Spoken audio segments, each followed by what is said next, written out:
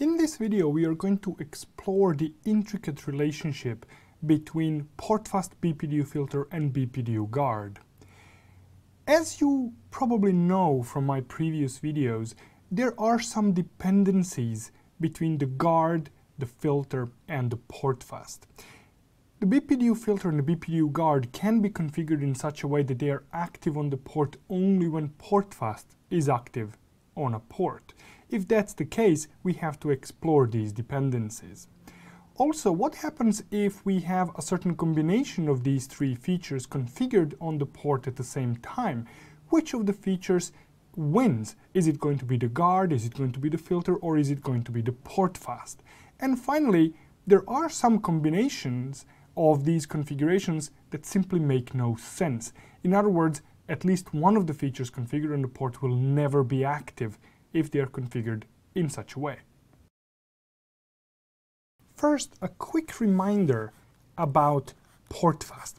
Portfast can be configured using two different methods. It can be configured globally or it can be configured on a per port basis. In both of these cases, the operational portfast state on the port will be conditional on incoming BPDUs. If there are no incoming BPDUs on this port, the portfast feature will be active. When the BPDU arrives on the port, the portfast on this port will be turned off. It will be operationally disabled. BPDU guard can also be configured using two different methods. It can be configured globally or on per port basis. In both cases, BPDU guard is going to supersede the port fast. How does that work? Well, let's imagine that we have a port. This is here a port, and we have traffic arriving to this port. The first feature that this traffic arriving, the incoming BPDU, is going to encounter will be the guard. And behind the guard, we have the port fast sitting, if it was configured. That means that when the BPDU arrives on this port here, it will trip off the guard, which will error disable the port, effectively turning the port fast with it off as well. Now, the important thing to understand here is that when the BPDU guard is configured globally, it will be configured as part of the port fast command. That means that if the guard is enabled globally, unless portfast is enabled on this port, the guard will not be enabled. But when configured per port, the guard is an unconditional feature and will always be active. But the important here, the important thing to understand here is that the incoming BPDU will actually trip off the guard before it turns portfast off. Now, why is this important? Because if it was the other way around, if the portfast was triggered or tripped off before the guard was encountered by the incoming BPDU, the portfast would disappear from the port. And if the guard was configured globally, this would automatically disable the guard on the port itself, rendering it completely useless. Now, that means that that command shouldn't even exist in the first place. And this is why the guard actually wins over portfast in this case. The guard will be the feature that the incoming BPDU encounters first. BPDU filter also has two ways of being configured. It's also global and per port. So when configured globally, this is the way BPDU filter works. Again, let's imagine that we have a port here and we have traffic arriving to this port.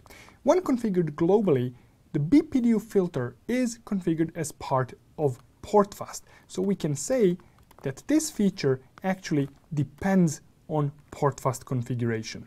The first feature that is going to be encountered by the incoming BPDU when BPDU filter is configured globally will actually be the port fast and only behind this is where the filter sits. And remember, when configured globally, the BPDU filter does not filter any incoming BPDUs. It will filter only outgoing BPDUs. And why is that? Because the incoming BPDU here, the one that arrives to this port, will actually encounter port fast first. And if the BPDU arrives on the port on which portfast is enabled, it is going to turn off the portfast. And because our filter is actually dependent on the portfast, with it, the filter will be turned off as well. Now, this is very, very different in a case when we have the BPDU filter configured on per port basis. In that case, let's examine what happens. I have a port and the traffic is arriving this way. The first feature that this BPDU is going to encounter is the filter. When the BPDU arrives on this port, it will actually be filtered out by the filter. And it doesn't matter what features I have sitting behind the filter like portfast or maybe even guard. Here, slightly different order there, so I'm just going to remove the guard. So the, the, uh, the port fast will never be encountered by the incoming BPDU in this case because the filter will catch it first. So from this we can gather that the combination of port fast and BPDU filter makes some sense. Also the combination of port fast and guard also makes some sense. But what if we had the filter and the guard configured at the same time? Does this configuration make sense? Well, let's examine that. Now, let's say that we have filter configured globally and guard. Now, for guard, it doesn't matter whether it's configured globally or locally. It behaves the same way. So here we have the interface and the BPDU arrives.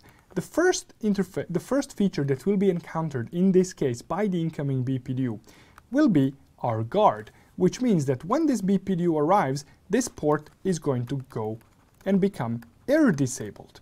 Now, behind this feature, we have the filter sitting here. But remember, globally configured filter is designed to filter only the outgoing BPDUs.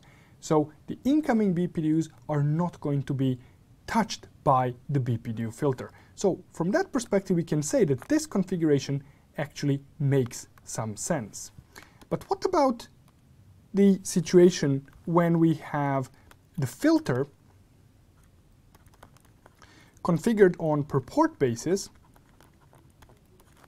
and we have a guard configured here.